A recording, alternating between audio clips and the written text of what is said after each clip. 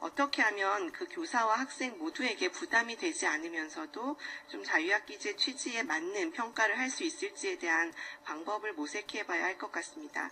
자유학기제를 도입할 때 취지가 학생들에게 좀 시험에 대한 부담에서 벗어나면서 자신의 꿈과 끼를 탐색하거나 어떤 과제에 대해서 몰입할 수 있는 그런 시간을 제공하고 또 체험학습을 할 수 있는 기회 이런 것들을 제공한다고 할때 어, 과목마다 수시로 지나치게 수행평가와 형성평가를 자주 한다거나 또 과제를 과다하게 내주는 것은 오히려 이런 기회를 어, 저해하는 요인이 아닐까 생각됩니다. 또 선생님들께서도 그 수시로 내주는 과제라든지 그런 수시 평가를 모두 다 수행 평가 형태로 하시기 어려운 점들도 있을 수 있을 것 같습니다.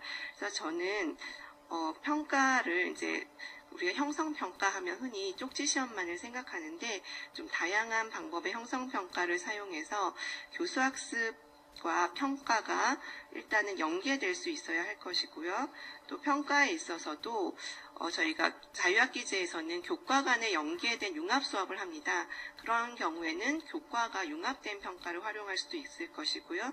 또 한 학기 동안 진행할 수 있는 프로젝트나 포트폴리오를 활용하는 평가 등 어, 다양한 방법을 사용해서 선생님들이나 학생들이 부담을 덜 수 있는 방향으로 평가가 이루어져야 되지 않을까 생각됩니다.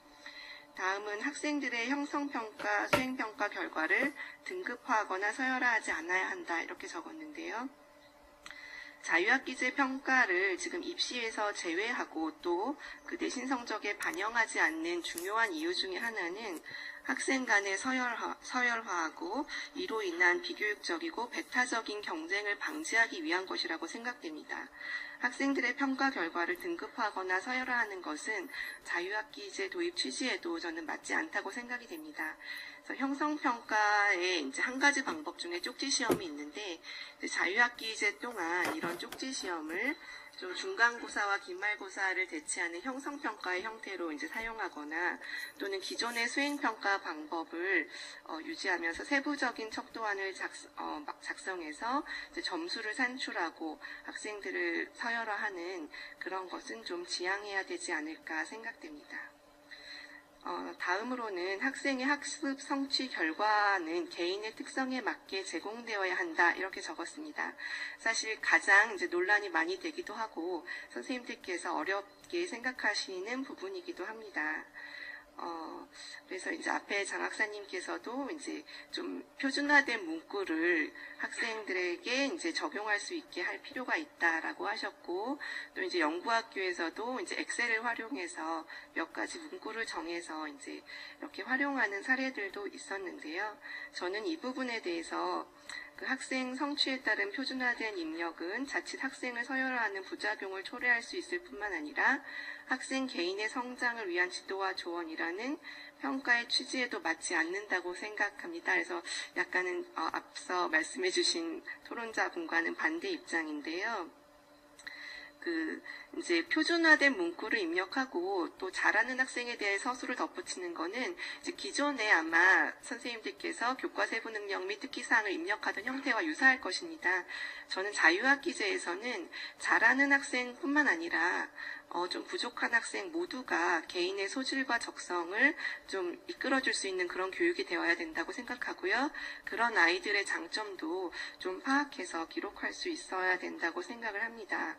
또 이제 학부모들의 궁금증에 대한 부분은 이제 서술식으로 마지막에 몇 줄 기록된 것을 보시면 사실 학부모님들께서도 많이 궁금하실 수가 있는데 이런 성적표의 형태가 아니더라도 그런 이제 학 평소의 학습에 대한 그런 결과물이나 교사의 코멘트를 그냥 집으로 보내고 확인받고 하는 것으로도 학부모님들이 학생의 그 학업 성취에 대해서 좀 많이 파악을 하시고 오히려 도움이 되실 수도 있다고 생각을 합니다. 그래서 앞서 이제 주제 발표하실 때도 교사, 학생, 학부모 연계 평가 말씀하셨는데 뭐 학부모가 평가에 개입해야 된다 이런 관점보다는 학부모에게 수시로 학습 결과를 알려서 교사도 학부모도 그런 학생의 학습 그런 평가에 좀 참여할 수 있는 그런 형태가 될 수 있을 것이라고 생각합니다.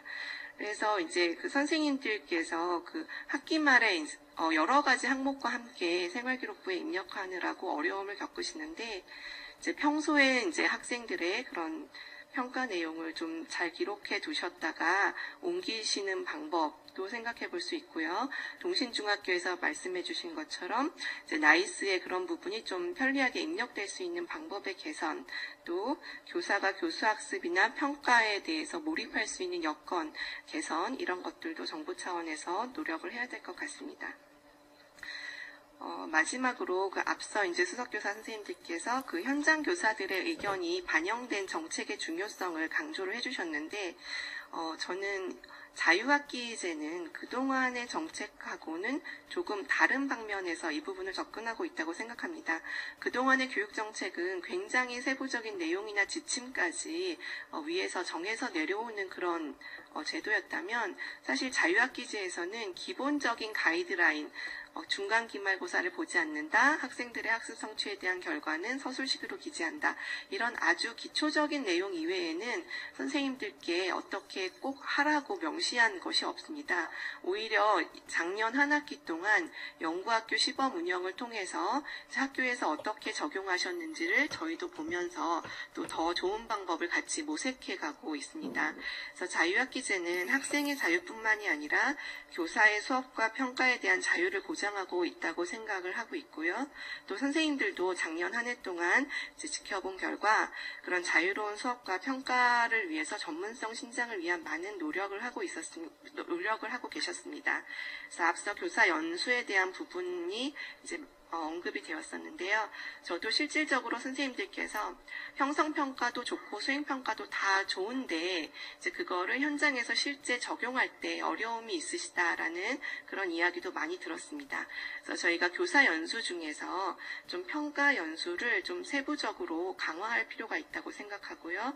어떤 평가에 대한 이해 부분뿐만이 아니라 평가를 어떻게 설계하고 수용, 수행, 수행할 것인지 또 결과를 어떻게 활용할 것인지 그 다음에 자기 평가나 어떤 정의적 영역 평가에 있어서 문항을 어떻게 제작하고 뭐 평가할 것인지와 같은 좀 구체적인 연수가 지원될 필요가 있다고 생각됩니다.